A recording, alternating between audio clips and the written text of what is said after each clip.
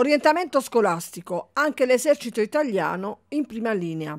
È tempo di orientamento scolastico per i giovani ragazzi e ragazze di ogni ordine e grado che in questo momento stanno compiendo scelte importanti per la loro vita formativa e professionale.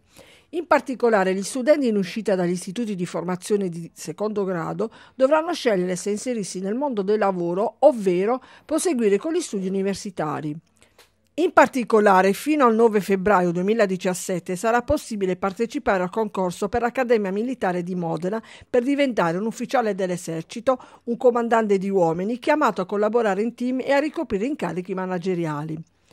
A seconda del percorso formativo scelto dal candidato, sarà possibile conseguire la laurea in scienze strategiche, in ingegneria, medicina e chirurgia, con il livello di qualificazione più elevato. Un'altra opportunità è offerta dalla scuola sottufficiali dell'esercito. Con la frequenza del corso triennale porterà il giovane studente a diventare maresciallo comandante di plotone, avendo compiuto un percorso formativo che risponde all'esigenza di creare dei profili professionali che assommano in sé sia competenze umanistiche per una corretta gestione delle risorse umane, sia tecniche per l'ottimale utilizzo degli strumenti tecnologici, conseguendo una laurea di primo livello.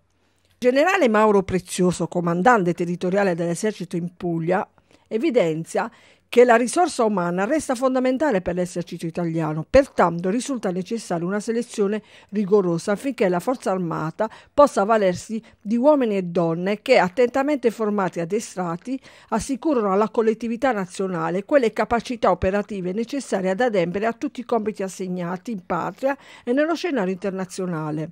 Il mio comando, continua il generale Prezioso, è parte attiva nel prospettare agli studenti quali siano le varie possibilità formative e professionali offerte dall'istituzione. Ciò attraverso apposite conferenze di orientamento tenute negli istituti superiori